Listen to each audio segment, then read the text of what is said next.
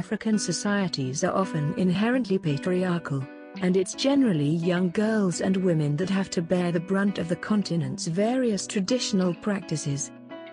For instance, there is the awful practice of sexual cleansing whereby young girls in countries such as Malawi, Kenya, and Uganda are expected to have sex as part of a cleansing ritual in any of these circumstances, after her first period, after losing a husband or after having an abortion.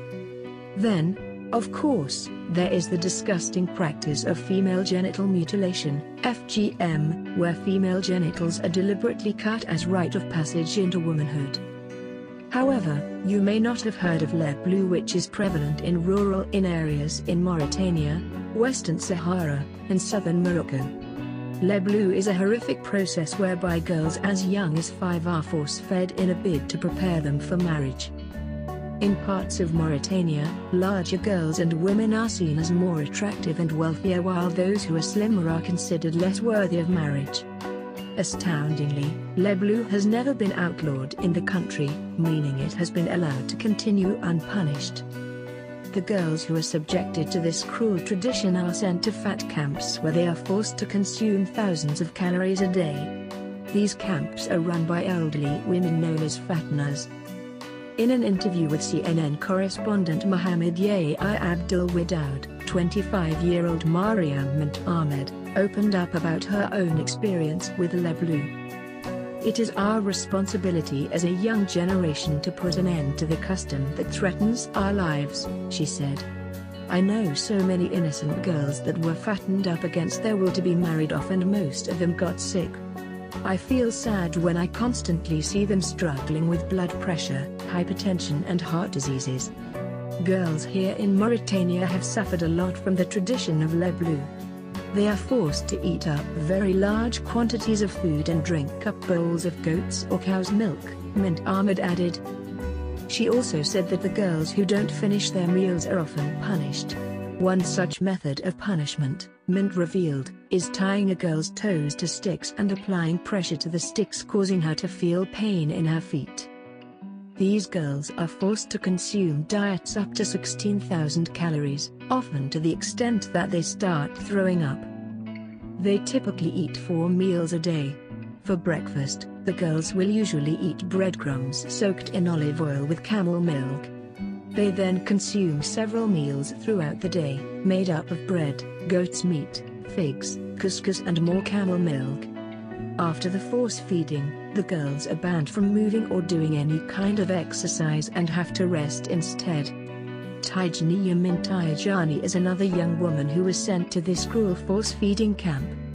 You're going on vacation to the desert to meet other girls and eat sweet food, Tijaniya Mintayajani's mother told her, according to Marie Claire. At first, Tijaniya was looking forward to it. She said that by the time I returned home, I'd be a beautiful woman, she recalls. Just 10 days later, 14-year-old Tijaniya was forced to reside in a cramped sandstone hut in the Sahara Desert. She is frequently threatened with cane beatings by 50-year-old Aminta Mintel Hassan if she refuses to eat any further. And if she vomits, Mintel Hassan will force her to eat that as well. The aim is to feed them until their bodies blow up like balloons, she says. My stomach hurts, Tijaniya says. I don't want to be fat. I don't think it's beautiful. Now I see why some girls at school came back fat after vacation, but they were much prettier before. I love sports. I'm scared I won't be able to run fast when I'm fat. Tijaniya dreams of becoming a French teacher, but El Hassan insists the girl's parents have already arranged for her to get married. Her job will be to make babies and be a soft, fleshy bed for her husband to lie on. The stomach flap should cascade, the thighs should overlap, and the neck should have thick ripples of fat. Parents will give me a bonus if a girl develops stretch marks. When Swadi Salmu, another victim of the disturbing practice, was forced to consume buckets of oatmeal as a child, she despised it so much that she would hiss some of it under her armpits and throw it in the toilet.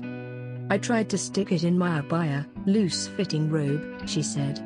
Sometimes I got caught, but I still managed to get rid of some food. From the age of 7, Her parents would feed her two whole buckets of oatmeal and couscous a day so men would want to marry me. I married my cousin at the age of 13, and had my first child a year later, she told the Thomson Reuters Foundation. Unfortunately, the practice has plenty of supporters in Mauritania. Personally, I do believe that fattening girls is more than a necessity. Slim girls bring shame to their families and even their tribes as well. It's also difficult for them to attract men's eyes in our society, says 55-year-old Aisha Mintaleb. I had two daughters and I fattened them while they were 8 to 10 years old, so both of them grew enormously, have married quickly and got children before the age of 17. They are managing their families and come to see me on weekends. I am now very proud of what I did. What these girls are forced to ensure is absolutely sickening. This lifestyle is forced on them, leaving with no agency over their own bodies. Moreover, their quality of life is sabotaged as their large size and constant overeating leave them with a whole host of health problems. We hope in the near future that this abhorrent practice is internationally recognized and fought against like other traditions that leave women feeling controlled and attacked. Please share this video with friends and don't forget to subscribe to our channel for more stories.